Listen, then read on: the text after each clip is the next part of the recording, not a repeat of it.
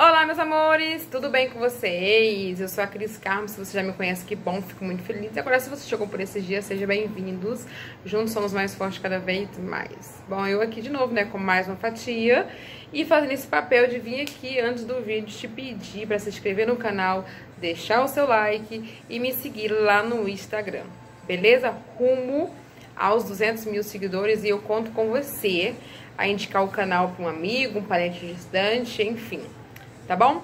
Então, te espero no Instagram e vamos à receitinha. Bom, espero que você não ache ela cara. Ah, que vou fazer não, porque é caro, nossa, é complicado. Não, galera, vai em casa que vende produtos naturais que você compra granel, 50 gramas, e vai agradar o seu cliente, tá bom? E espero que você esteja gostando, né, das fatias. Tem gente perguntando, Cris, você não vai fazer mais bolo no pote? Eu vou fazer assim, galera, em breve mesmo, ó, por essa semana, não sei que dia que eu vou postar esse vídeo, mas por essa semana eu já vou estar gravando aqui pra vocês com novidades, beleza? Então, vamos ao vídeo. Então, meus amores, tá aqui as nossas nozes. A primeira coisa que a gente vai fazer é levar ela no forno para dar uma leve dourada. Cuidado que queima muito rápido. E vou pegar metade disso e vou transformar tipo uma farinha mesmo. Eu tô falando tipo uma farinha porque meu liquidificador tá molhado agora. Então, vou ver se eu vou conseguir bater ela no saco pra ficar bem pequenininha, tá bom? E a outra metade a gente vai cortar, picar ela na faca. Eu já mostro vocês o que eu vou fazer. Agora, coloquei no saquinho e agora eu vou bater, bater mesmo. Bem ficar tipo farofinha mesmo, tá? Aqui eu separei quatro que eu vou usar na decoração e o resto eu vou picar na faca, beleza? Na montagem eu mostro pra vocês. Pronto, aqui na panela tá a noz que eu bati, né? E manteiga. Manteiga, geralmente as receitas pedem pra você colocar uma colher de sopa. Receita de docinho, depende da quantidade, né? Só que eu vou colocar só um pouco, porque a noz já é, tem bastante gordura, beleza?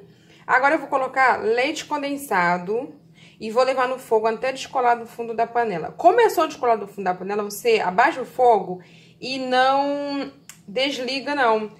Depois que começar a desgrudar do fundo da panela, você mexe mais um pouquinho para dar uma leve caramelizada, tá bom? Que isso vai dar um gostinho melhor pra, gente aqui, certo?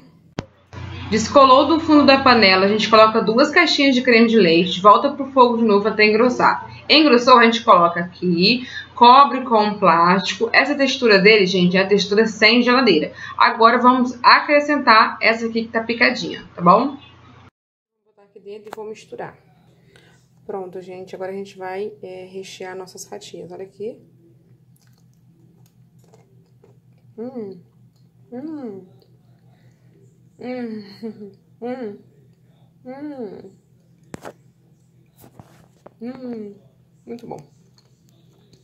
Interrompendo o seu vídeo para te comunicar uma situação. Você está vendo o meu vídeo do seu quarto, essa TV gigantesca, na sua sala, com seu marido, com seu filho. Beleza, pode ver.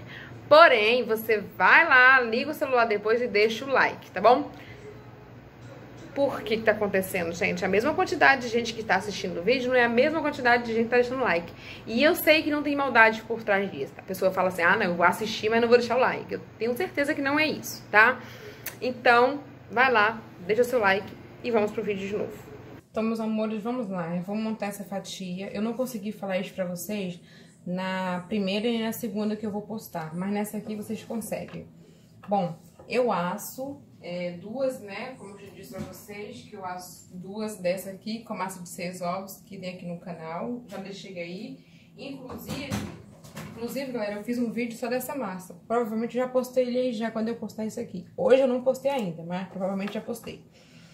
Então, quando é um bolo de decoração de aniversário, enfim, que eu corto duas, três vezes, eu prefiro que a parte do fundo fica pra cima. Então, eu monto ele, quando eu virar, essa parte mais lisinha fica pra cima, que é mais fácil de você alisar, passar chantilly e dar um acabamento. Nesse caso, que é só em duas, eu gosto de montar desse jeito. E deixo essa parte aqui pra cima, a parte que foi assada, entendeu? Pra cima. Porque se essa parte aqui for pra baixo, pode ser que na hora de tirar a fatia, ela não, sa não saia tão perfeita. Aqui não, quando for sair cortar e for tirar a fatia, vai sair perfeita, tá bom? Bom, a calda já tem aqui no canal. Eu vou molhar nosso bolo.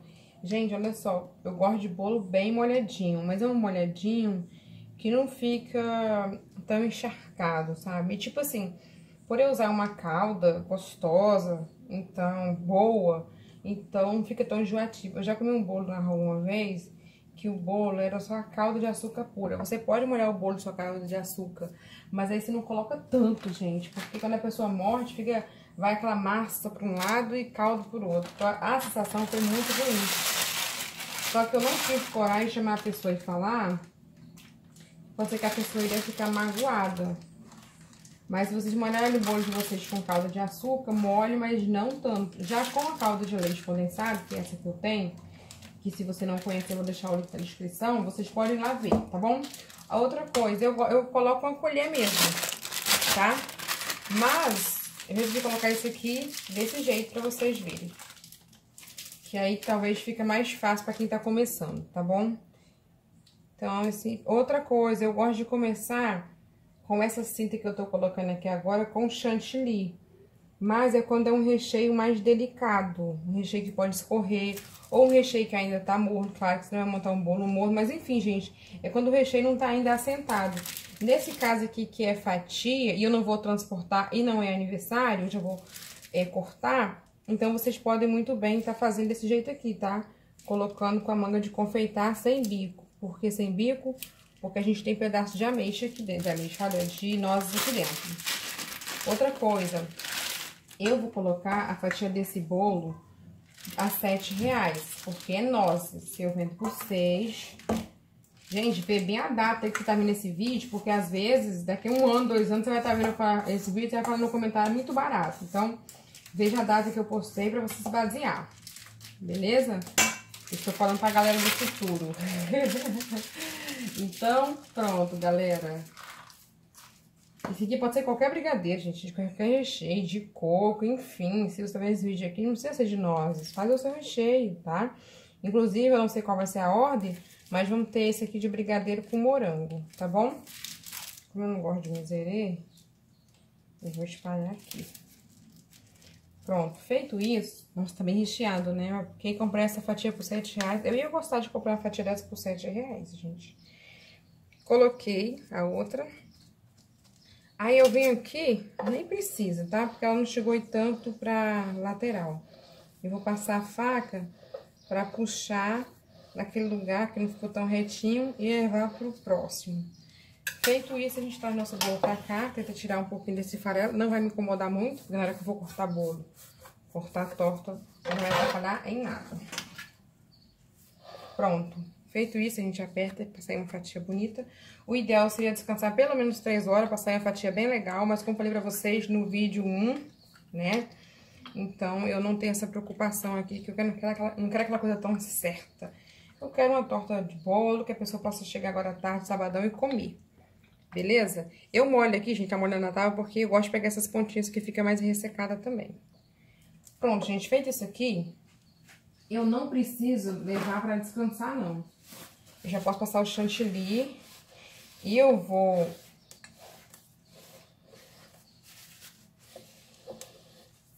Como eu tô fazendo outros dois, duas tortas pra vender hoje, fatia, então eu vou, depois que eu vou colocar a chantilly, ela vai pra geladeira pra descansar um pouco, tá bom? Beleza? Beleza. Aqui do lado, eu bati, não preciso mostrar pra vocês, eu bati um chantilly, que é... Vai chantilly, claro. E eu botei um pouquinho de leite em pó, tá bom? Aí, gente, eu não quero muito chantilly não, tá? Eu quero pouquíssimo chantilly. Bem pouquinho mesmo. Vou até pegar essa espátula aqui, mas se você não tiver, pode ser faca, enfim.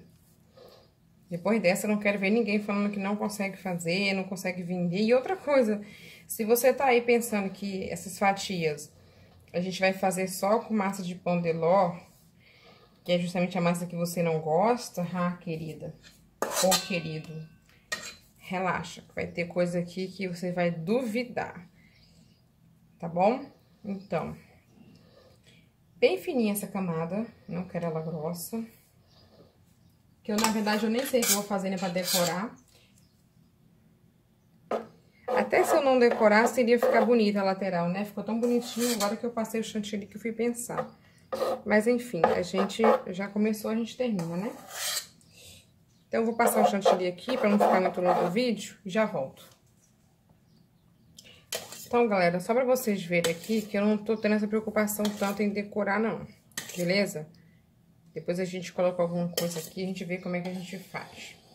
Ficaria linda nozes na lateral também, pozinho na farinha da nozes. Mas vai ficar um bolo mais caro ainda. A gente não quer que nosso cliente fique chorando. A gente quer um negócio que venda. Você vai apertar de uma vez só e vai, tá? Ó. Não deixa cortar, não. Sabe o que, que faz ele não cortar? É você manter o, fluxo da mão. Apertando sem parar. No meu caso, eu tô parando. Mas é só isso mesmo, gente. Nada de ficar... Olha... O biquinho mais fino e o chantilly, o chantilly, ou chantininho, mais é molinho. Pra ficar ele molinho, você coloca o próprio chantilly sem bater, ou leite gelado ou leite condensado tá bom? E o ideal é ser bem fininho esse troço aqui, tá bom? Esse bico aqui ser bem fininho. Mas a gente não quer um negócio muito decorado também não, gente. A gente quer só um, um acabamento diferenciado e tá de bom tamanho, certo? Eu nem posso botar muita altura por causa da tampa. Prontinho? Amor, nesse momento aqui não tem muito segredo não, tá? É um pano limpinho do lado, a faca, e você faz isso aqui, ó. Corta no meio, corta de novo, enfim, oito fatias. Claro que no princípio, no começo, você vai só marcar. Depois que você vai afundar a faca mesmo, puxa para trás, limpa. Tem que fazer isso para não sujar a parte de cima do chantilly. Agora sim, você vai vir com a sua espátula. Se você não tiver com, ela vai ser útil pra você. Eu vou colocar na isopor, tá bom? Então, eu vou colocar... Gente, quem é que não gostaria de comer uma fatia de torta dessa com a nozes crocante, sabor de nozes e gosto de nozes? Quem não gostaria? Vamos falar a verdade, hein? Parei aqui pra dar uma dica, ó. Você pode ir ajeitando. Quando tirou a fatia, você pega uma colher, uma faca e dá esse acabamento assim, ó, pro lado, viu? Então tá, gente. Hum, eu tô com água na boca. Só que como hoje eu tô fazendo três tipos de fatia, eu não sei qual que eu vou comer. Todas não dá, né, gente? Senão a gente engorda. Porque eu, eu comecei fazer doce, eu engordei. Então eu vou ter que rever meus conceitos. Comer eu não sei. Ainda mais que eu sou fã de um cafezinho. E sendo fã de um cafezinho, aqui em casa sempre tem um bolinho de fubá. Então, os amores, ficaram assim as fatias. Não dá pra ver aí na imagem, mas eu peguei, separei quatro uh, nozes, parti ao meio e pincelei elas com um pozinho dourado de ouro. Esse é um capricho, tá bom? Mas olha só que lindo que fica. Olha, muito bem servida, né? Então, é isso aí. Espero que vocês tenham gostado. Se gostou, deixa o like de vocês. Você deixando o like me anima a voltar e gravar cada vez mais pra vocês, tá, gente? Várias ideias, beleza? Difícil é parar. E agora que você viu o vídeo, você gostou? Se gostou, deixa o seu like mais uma vez. Então, eu conto com vocês, beleza? Beijinho, beijinho. Tchau, tchau.